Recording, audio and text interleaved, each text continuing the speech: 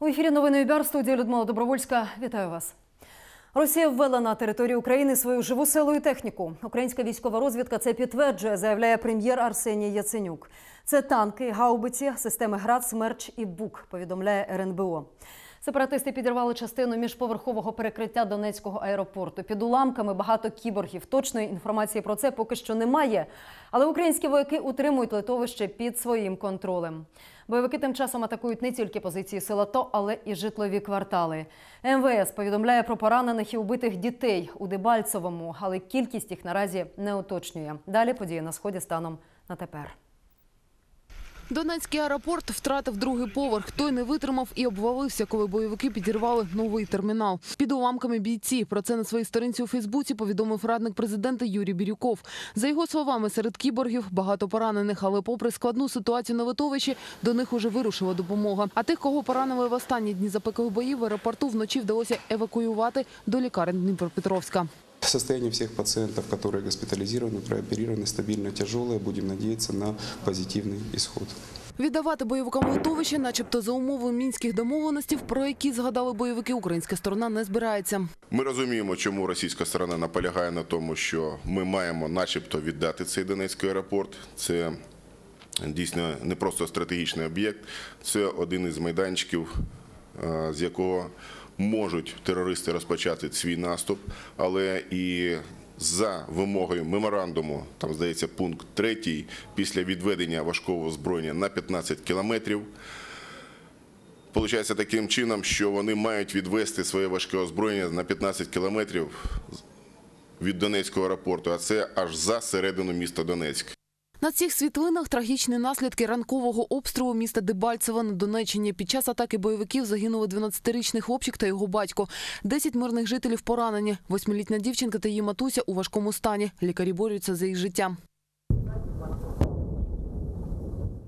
У вихідні бойовики обстріляли Горлівку. Троє загиблих, 17 поранених, дехто й досі у важкому стані. Тільки за останню добу на сході України бойовики 99 разів гатили по позиціях сіл АТО та населених пунктах. Найзапекліші бої у Донецьку.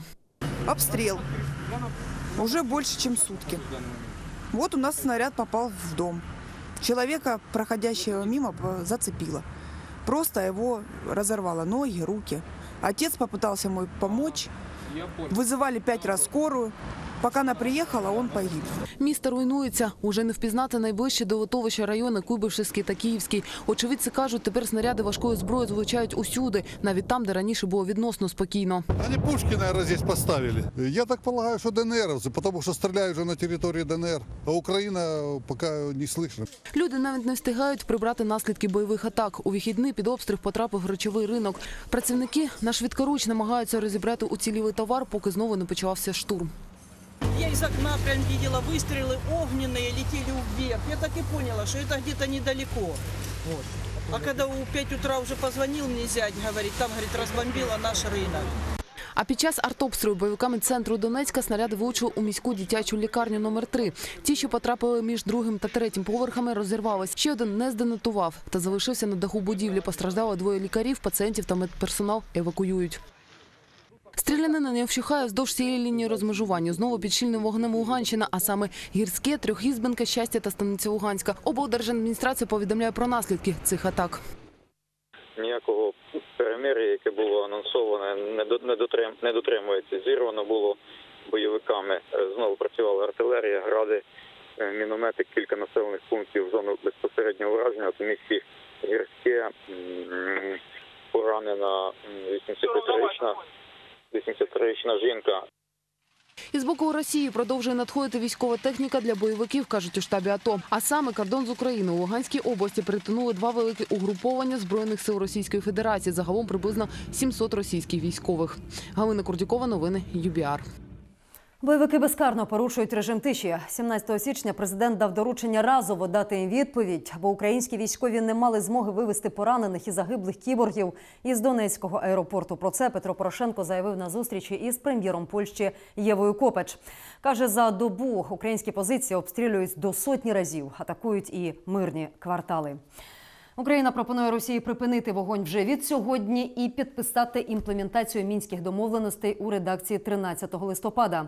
Це стане передумовою для подальших консультацій тристоронньої групи із врегулювання ситуації на сході, наголошує Київ. Президент Петро Порошенко говорить, Україна готова до того у будь-який час. Так само, як і до зустрічі у так званому нормандському форматі в Астані чи будь-де, аби тільки вогонь був припинений. Російський МЗС у свою чергу запевняє, Володимир Путін пропонує Порошенку відновити режим тиші, а це той його буцімто ігнорує. Починаючи з 7 е, січня відбулася значна ескалація напруги, яку здійснили Росія і терористичні угрупування на сході. Кількість обстрілів, яку застосовували проти збройних сил України терористи, зросла з 10 до 90-100 за добу. В основному від цих обстрілів страждають мирні жителі.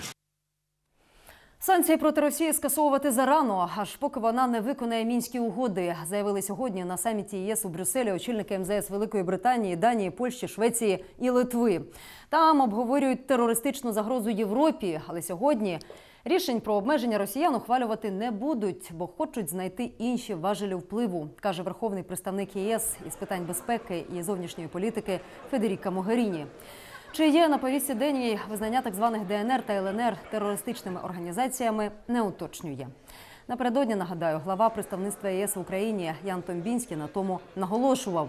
Ще у пресу потрапив документ, що пропонує поступово відновити співпрацю з Москвою, зокрема у боротьбі із угрупованнями ІДІЛ, якою керує Абу-Бакр Аль-Багдаді, якого Сполучені Штати вважають одним із найнебезпечніших екстремістів. Київ наполягає скасовувати санкції можна тільки коли Росія поверне Крим, припинить дестабілізувати ситуацію на Донбасі і відшкодує Україні збитки. Звісно, недоброю новиною є інформація про відновлення активних сутичок на сході України. Сьогодні ми обговорюємо, як використовувати інструменти, що в нас є, окрім санкцій, у більш ефективний спосіб. Не думаю, що теперішній спосіб дій треба змінювати.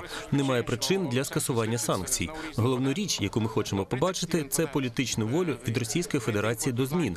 Поки що навіть припинення вогню було використано для кращого оснащення сепаратистів. Саме з цієї причини знову спалахнули бої за Донецький аеропорт. Ми не бачимо з боку Росії політичної волі і кроків, тому немає причин змінювати політику. І знов вибух у Харкові. Цього разу біля будівлі московського райсуду. Поранені шестеро людей, двоє у тяжкому стані. Рвонуло, коли із суду виходили учасники засідання у справі члена партії Свобода Михайла Соколова. Його звинувачують у незаконному носінні зброї. Мовляв, прийшов у жовтні озброєний на виборчу дільницю. Щойно його група підтримки вийшла із будівлі суду, пролунав вибух. На місці працює слідчо-оперативна група і бригади медиків. Що спричинило до вибуху, поки що говорити зарано, каже радник очільника МВС Антон Геращенко. Головним підозрюваним у атаці на рейсові автобуси з мирними мешканцями під Волновахою є самозваний лідер самопроголошеної ДНР Олександр Захарченко, каже генпрокуратура. Обіцяє дістати його, хоче з-під землі. Стріляли з градів з району Докучаєвська. Це висновки вибухово-технічної експертизи. Генеральний прокурор України уточнив по пасажирському автобусу під Волновахою били систем залпового вогню з північно-східної околиці міста Докучаєвська, що на Донеччині. За участі експертів на місці події визначено кут падіння зазначених снарядів, що ставить 52-55 градусів. Відповідає дальності без врахування метеорологічних умов польоту реактивного снаряду 19 тисяч метрів від даних воронок. Снаряд, який забрав життя 12 пасажирів та одного військовослужбовця, розірвався на відстані 12 метрів від автобуса. Ще 18 людей отримали поранення. Пасажири саме проходили паспортний контроль на блокпості українських військових, що саме на виїзді з Волновахи, коли почався масовий обстріл з градів. Загальна кількість воронок, в які влучили 13.01.15 року, аналогічні снаряди становить 88 одиниць. Було відстріляне не менше як з трьох реактивних систем залпового вогню БМ-21 «Град» одночасно. Попадання в пасажирський автобус не могло бути випадковим. У цьому переконані в СБУ. Рейс із Златоустівки до Донецька, яким їхали пасажири, регулярний. І час проходження паспортного контролю бойовики добре знають. За версією слідства, теракт вчинили, аби залякати місцеве населення. Саме донецьких пенсіонерів, саме студентів з Донецька надавали свідомо для того, щоб залякати мирне населення, для того, щоб мирні жителі, пенсіонери не їздили за належними їм пенсіями. Для того щоб студенти не мали можливість і члени сімей воз'єднатися і відвідати батьків Відповідальність за загибель мирних жителів СБУ покладають на самопроголошеного лідера так званої ДНР Олександра Захарченка. У відомстві кажуть, мають записи телефонних розмов. Ті підтверджують, накази на початок обстрілу віддали керівники самопроголошених республік. мінімум три установки БМ-21. Саме вони масовано за прямою директивою терориста номер один в ДНР, так званого голови, здійснили масований обстріл Олександру Захарченку уже винесли підозру в організації теракту. Матеріали передали в Інтерпол, аби його оголосили у міжнародний розшук. Е, Захарченко це та людина, яка очолює терористичну організацію. і По відношенню до нього буде здійснюватися переслідування на всій землі і кулі і до кінця е, його перебування на цьому світі. Нині розшук Захарченка ускладнює політична складова, кажуть в Генпрокуратурі. Однак після оголошення його в міжнародний розшук затримати його можна буде і на території іншої держави. Тим часом президент підписав указ про часткову мобілізацію. Починається вона завтра і пройде у три етапи протягом 210 діб. Мобілізують близько 50 тисяч осіб, як військових запасу, так і строковиків по всій Україні, крім тимчасово анексованого Росією Криму. Не підпадають під призов студенти, аспіранти і громадяни, що мають на утриманні трьох чи більше дітей. Продовжить тему Ганна Чередниченко. У військових магазинах порожні полиці. У солдат по одному бронежилету на десятьох. Такою Україна пам'ятає першу, другу і навіть третю хвилі мобілізації. Ми ужаснулися, коли е, ще в квітні місяці попали у е, військові частини, попали у, е, на полігони, попали на Деснянський полігон і побачили, що, наприклад, 12-й батальйон територіальної оборони е, за 10 днів перед виходом, ну, маючи 500 чоловік вже особового складу, має пристріляних тільки 100 автоматів Калашникова, має тільки 50 бронежилетів і там 10 чи 20 касок. Із прилавків військових магазинів змітали однострої, взуття, шоломи і бронежилети. Ажиотаж в основном был, ну, скажем так, дефицит даже был не только у нас в магазине, а по, всему городу. Наколенники, каски, бронежилеты, чехлы от бронежилетов, ну, то есть самое как бы необходимое. Полевая униформа там это еще, ну, можно было где-то ее найти. А вот такие вот моменты для защиты как бы непосредственно, вот это было как бы дефицитом основным. Збори до війська тоді лягли тягарем на гаманці самих мобілізованих, а ще волонтерів. Останні рахують, кожен солдат обійшовся не менше ніж у 10 тисяч гривень. І це в той час, коли принаймні основне, як от форму чи бронежилет, мала надавати держава безкоштовно. У Міноборони кажуть, четверта хвиля сімейних бюджетів уже не зачепить. будуть забезпечені е, в повному обсязі, обсязі речовим майном, е, захистами індивідуального захисту, це кевларова каска і бронежилети, е, також е, медичні аптечки та інші средства, які повинен мати при собі військовослужбовець. Та повністю безоплатною мобілізація стане тільки для тих, кого якість і кількість державного майна цілком влаштує. Базові бронежилети, які видає Мін- Міноборони, вони ну по захисту вони хороші. Просто вони трошки великі і трошки незручні, наприклад, частинам спецпризначення. Тому ми возимо як волонтери, возимо там плейт-керріери або нові чохли. От, тому що у них там ну, інший профіль роботи. Для механізованих мотопіхотних частин, для служби на блокпостах, там утримання об'єктів, базові корсари, що видає Міноборони, вони в принципі хороші. По, по захисту вони там мають кевлар і так далі. Те саме стосується касок. Брати до війська тим часом дозволять і своє. Міноборони, в принципі, не буде видавати щось більш специфічне, як наколінники, налокотники, балістичні окуляри, балаклави, якісь там модні розгрузки або тюнінг до зброї. Тобто це не є базово необхідні речі, і вони вже можуть. Ну тобто, якщо комусь треба, то хтось може там просити родичів, волонтерів і так далі їх привозити. А ось тут, власне, і доведеться добряче потрясти гаманця. Те, що першим мобілізованим діставалося по одній ціні, тепер коштує вдвічі дорожче через стрімке падіння курсу гривні. Так, за спеціальні окуляри необхідно віддати від однієї тисячі 300 гривень. Вартість наколінників наразі коливається в межах 200-600 гривень, а укомплектована розвантажувальна система обійдеться щонайменше у 3 тисячі гривень. Щоправда, все це не є обов'язковим, а купувати його мобілізований може за власним бажанням. Те ж саме стосується ножів та ліхтарів, а також більш якісного за державне, але й дорожчого взуття. Наверное, одни из самых популярных моделей ботинок. Как бы. вот, э, модель Zephyr, ну, всем известная, как бы. Цена на эти ботинки на данный момент, как бы, ну, опять-таки, возросла в два раза. От 4000 гривен будут стоить, как бы, хорош, хорошие ботинки. До війська покличуть досвідчених, тих, хто вже має навички служби. Не братимуть багатодітних татусів, студентів та аспірантів денної форми навчання, а також священників. Вік мобілізованих від 25 до 60. Це якщо мова про чоловіків. Жінок братимуть добровольцями, тих, які мають необхідні армії спеціальності, і водночас не старших за 50. Для женщин в вооруженных силах достаточно много специальностей, где они могут приложить свои усилия. Это связь, это материальное обеспечение, это медицинское обеспечение. Тим часом пакувати валізи чи то державним майном, чи то власноруч придбаним, мобілізовані у четверту хвилю почнуть із вівторка. Анна Чародниченко, Денис Квартальнов, Валерій Наумов. Новини ЮБІАР. І рівно рік відтоді, як Майдан розширив свої кордони після народного віччя, де опозиціонерам до тодішньої влади Арсенію Яценюку, Віталію Кличку і Олегу Тягнебоку люди висловили свою недовіру і звинуватили у бездіяльності. Тисячі українців рушили на Грушевського, але дорогою їм перекрив кордон міліції. За мінусової температури силовики включили водомети, і обурені люди почали палити їхні автобуси. Перша доба протистояння на Грушевського і те, що їй передувало, очима Сергія Моргуна. Недільний день, 19 січня 2014-го. Останнє різдвяне свято, водохреща. На майдані проходить уже традиційне народне віче. Тоді ще опозиційні лідери закликають і надалі діяти мирно, але слухати їх громада вже не бажає.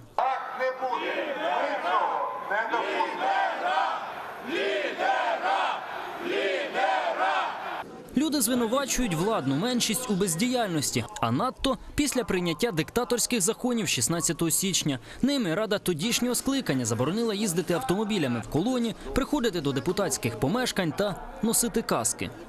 Честно говоря, уже все достало. Я не за оппозицию, там, но меня просто достала эта власть, вот и все.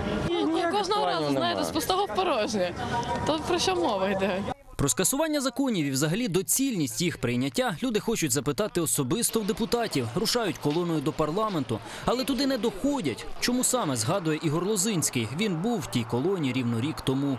Десь близько обіду тут стояла е, шеренга міліціонерів зі щитами. А вище були водомети, тут було багато техніки, цей район був заблокований. Спочатку воно не було таким напруженим, просто ще один похід кудись за межі території Майдану сюди. Але словесний конфлікт, перепалки проросло в кидання камінням, напади кийками.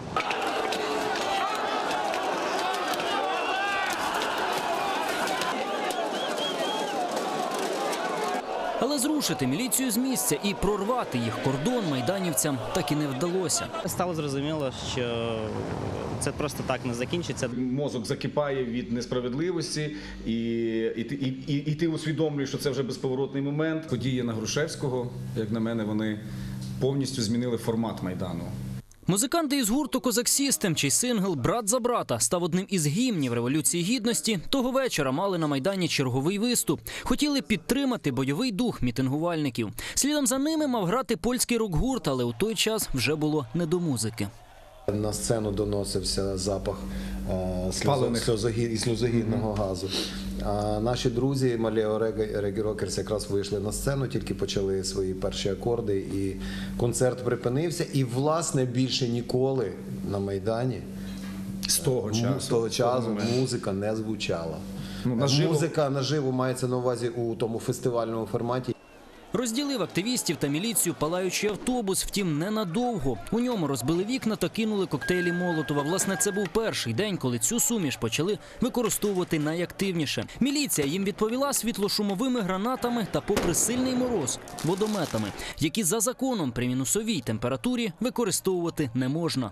Це хаос. А і далі воно чим, чим загострювалося і якось пояснити і щось передбачити було неможливо. І я, я не сподівався, що таке буде і що переросте навіть оце війну. Саме від цього дня і цієї ночі головна площа країни перестала бути мирним майданом. Романтизм революції перетворився на запеклі бої та розрісся чотириметровими баракадами до вулиці Грушевського. Коктейлі Молотова стали використовувати частіше і в більших кількостях. І навіть попри те, що частина активістів виступала проти силового протистояння, і весь день 19 січня намагалася запобігти сутичкам.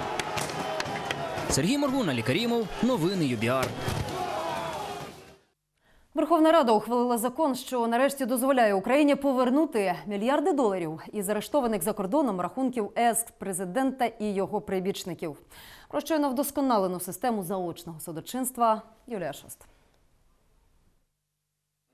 Верховна Рада прибрала шпарину, яка дозволяє колишнім високопосадовцям ухилятися навіть від заочного правосуддя.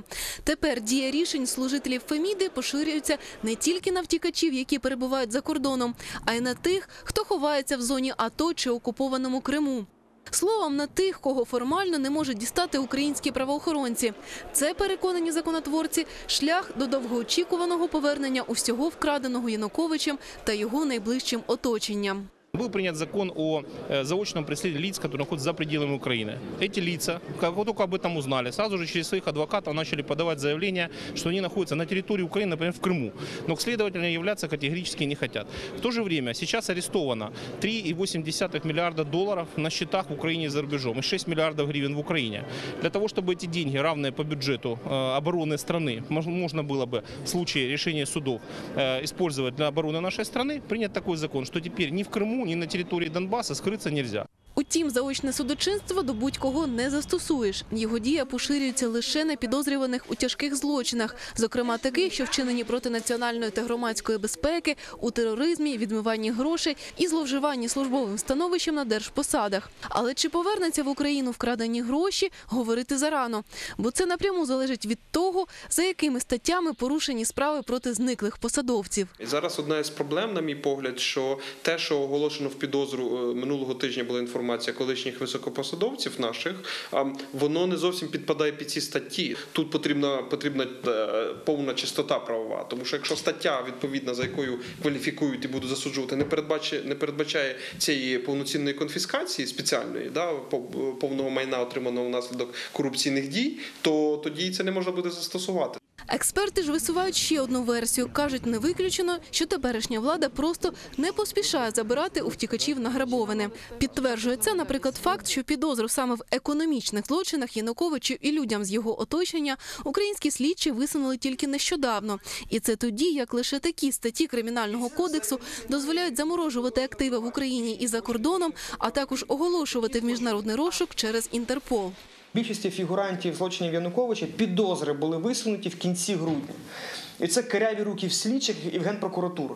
Е, В кращому випадку каряві руки, в гіршому злий умисел. Е, Я не скажу, що ці підозри взагалі були висунуті, тому що піднявся скандал, який в тому числі підняли ми і інші експерти, в тому, що або ви дасте нормальні підозри Януковичу і компанії, або будуть санкції зняті.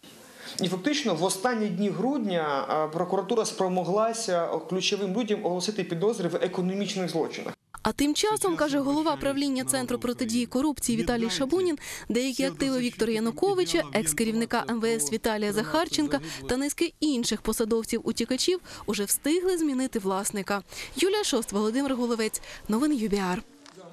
У вірменське місто Гюмрі влада вводить додаткові внутрішні війська. Бояться, що звістка про смерть шестимісячної дитини із сім'ї Аветисян спровокує нові масові виступи. За життя немовляти, пораненого російським солдатом Валерієм Пірмяковим, медики боролися від минулого тижня. 12 січня Пірмяков самовільно залишив російську військову базу, увірвався у будинок Ветисянів у Гюмрі, коли господарі спали. Розстріляв шістьох на піврічній дитині зброю заклинило, і він кілька разів ударив немовля багнетом. Потім перелякався і намагався втекти до Туреччини. Росія відмовляється видавати Пермякова Вірменії. кажуть, проведуть слідство самі. Від 14 січня тисячі жителів Юмрі і люди у Єревані вийшли на акції протесту. У Грозному десятки тисяч людей вийшли на мітинг протесту проти публікації карикатур на пророка Мухаммеда. За офіційними даними, там було 800 тисяч. BBC називає 350. Подібні акції відбулися і в низці мусульманських країн, каже Ярослава Марущенко. У Грозному поблизу головної мечеті зібралися десятки тисяч людей на протест проти публікацій карикатур на пророка Мухаммеда. Учасники мітингу тримали віддруковані багатотисячним тиражем плакати з написами про любов до Мухаммеда. Зі сцени головний муфтій Росії заявив, що акція має показати всьому світу, що Росія на варті релігійних почуттів мусульман. Водночас теракти у Франції він засуджує. Я считаю, что по всему миру оскорбили мусульман. Наши религиозные чувства задеты, и наше право религиозное задето. И я считаю, что это долг каждого мусульманина сегодня выйти, участвовать в этом шествии. Не для того, чтобы демонстрировать агрессию, и не для того, чтобы демонстрировать превосходство одной религии над другой, а просто демонстрировать, что добро больше зла. Не обійшлося без антизахідної риторики. З трибуни звинувачували старий світ у нехтуванні традиційними цінностями та в атаці ісламу. Окрім мешканців Грозного, на мітинг організовано автобусами привезли жителів з усіх куточків Чечні. Були й делегації з інших мусульманських республік Російського Кавказу. Та те, що мітинг організувала влада, не означає, що його учасники не підтримують написи на своїх плакатах. Сегодня мы пришли большой болью, потому что что творится в Франции, вот этот карикатуры, это невыносима боль для каждого мусульманина. Просто мы сейчас хотим показать людям, что нужно жить дружно. На початку мітингу президент Чечні Рамзан Кадиров заявив, що мусульмани Росії не дозволять використати себе для розхитування ситуації всередині країни. Минулого тижня усі, хто підтримує карикатури на пророка, назвав своїми особистими ворогами. Зокрема, таким ворогом він назвав і Михайла Ходорковського, який закликав всі видання після атаки на французький сатиричний журнал Шарлі Ебдо передрукувати карикатури. Мы решительно осуждаем автора карикатур и политиков, оказывавших им поддержку разговорами и свободы слова. Сегодня мы видим, что Европа не сделала должных выводов из недавних кровавых событий в Париже. Мітинги проти карикатур на пророка та проти сатиричного видання Шарлі Абдо вже кілька днів проходять у мусульманських країнах. Гасла скрізь практично однакові. Люди вимагають припинити ображати пророка. Так, у секторі Гази поблизу будівлі французького культурного центру зібралось близько 200 людей. Там спалили французький прапор, дехто з натовпу навіть пригрозив новими атаками. У пакистанському місті Бану протестувальники одразу двічі помилились. Спалили опудало вже колишнього президента Франції Ніколя Саркозі. До того ж до багаття потрапив і прапор Італії. Його випадково сплутали з французьким.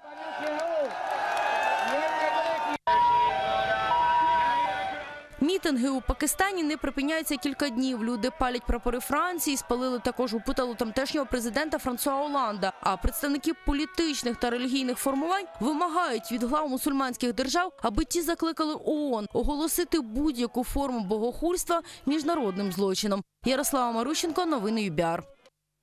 Індонезійські рятувальники не можуть підняти із дна Яванського моря фюзеляж загиблого літака Рейша через сильні підводні течії і негоду. Ймовірно, саме там досі перебувають десятки тіл загиблих. Поки що вдалося підняти 51 тіло, 45 жертв упізнали. Розшифрувати вдалося вже половину записів чорних скриньок. Версію вибуху чи теракту слідчі вже відкинули. Рейша, нагадаю, розбився і затонув біля берегів Індонезії. Загинули усі, хто був на борту 162 людини. Одесити шикуються у довжелезні черги, аби здати кров пораненим кіборгам. Ще їх із Донецького аеропорту доправили до одеського військового шпиталю. Привезли 29 бійців, 12 з них прикуті до ліжка. Крові для них уже здали стільки, Що знадобиться вона хіба вже наступного тижня? У хлопців попереду ще багато операцій, кажуть медики, але вони мають усі шанси вижити. Тем не менее, я очень благодарен одесситам, которые вчера обрывали телефоны Одесской областной станции после сообщения на ваших каналах и звонили до двух часов ночи. Как вы видите, сегодня пришло добровольно большое количество людей, которые согласны сдать свою кровь для наших бойцов, которые пострадали в Донецке. МВС уже приймає заявки і анкети від бажаючих працювати у новій патрульній службі Києва, яка цілком змінить ДАІ.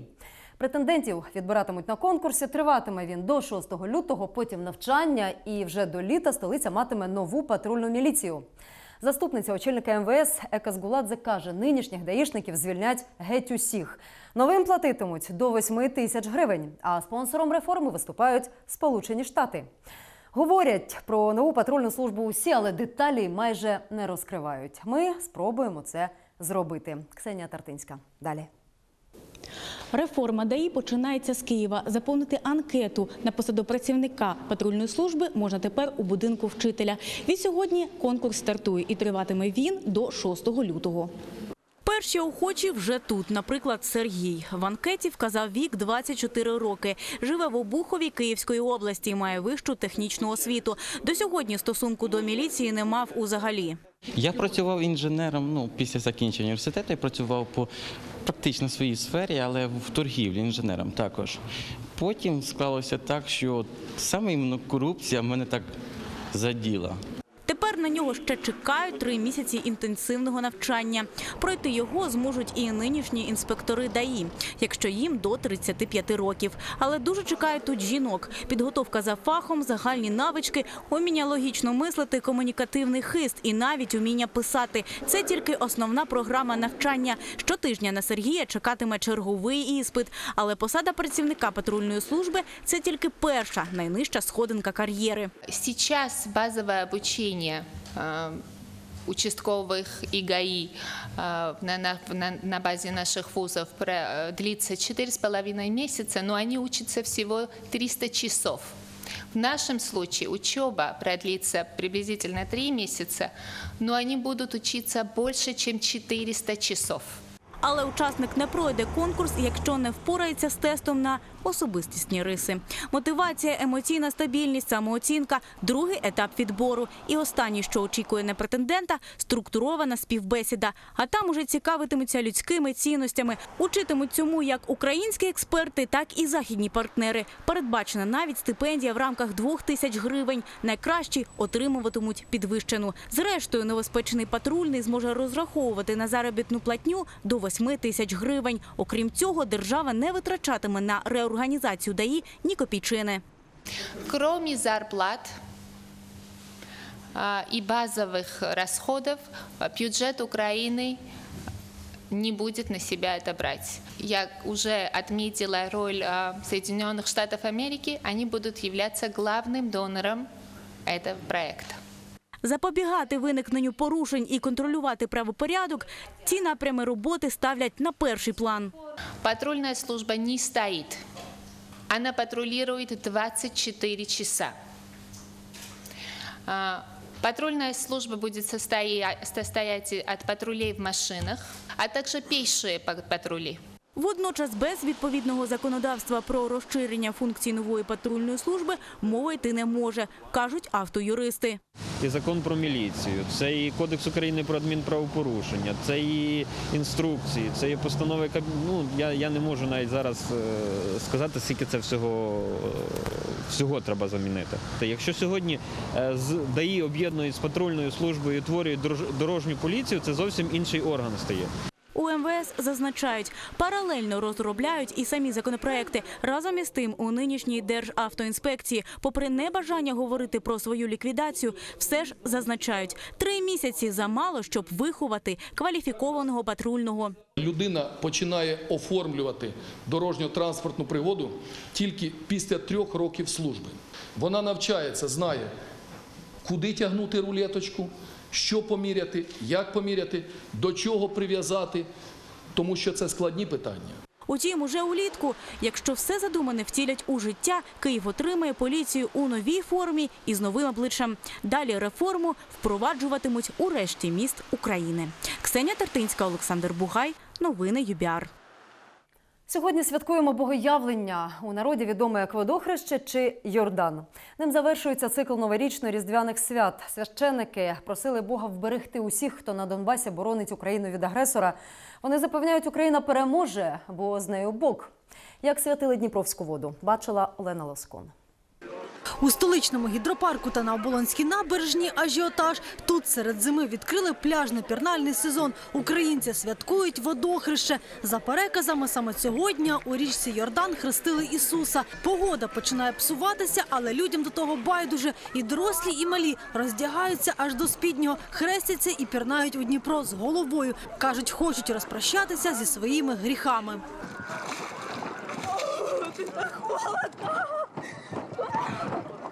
Дуже гарно, дуже.